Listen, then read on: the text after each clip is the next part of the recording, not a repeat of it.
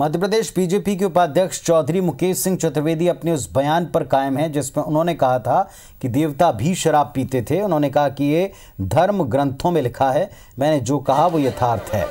उन्होंने कहा कि शराब पीने में आत्म अनुशासन ज़रूरी है। सरकार से क्या क्या उम्मीद करेंगे?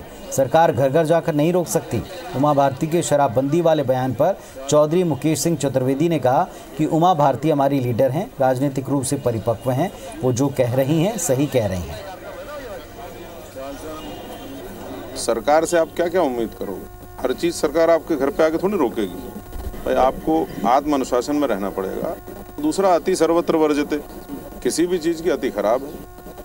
भाई आप आत्म अनुशासन में रहिए स्वयं पर अनुशासन लगाइए कि हमको क्या करना है क्या नहीं करना है।